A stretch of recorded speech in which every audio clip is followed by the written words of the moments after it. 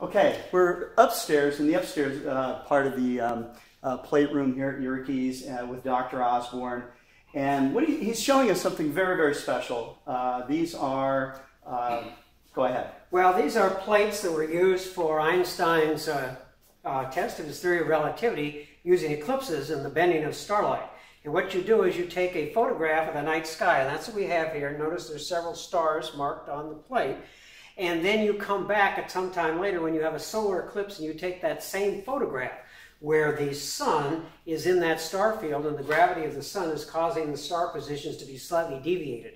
That was predicted by Einstein and was actually proven using eclipse plates.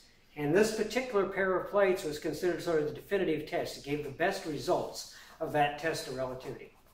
Lord. So here we are. Now, this was taken at what time? When was the That day? was taken, uh, it says on here, 1952 in um, Africa.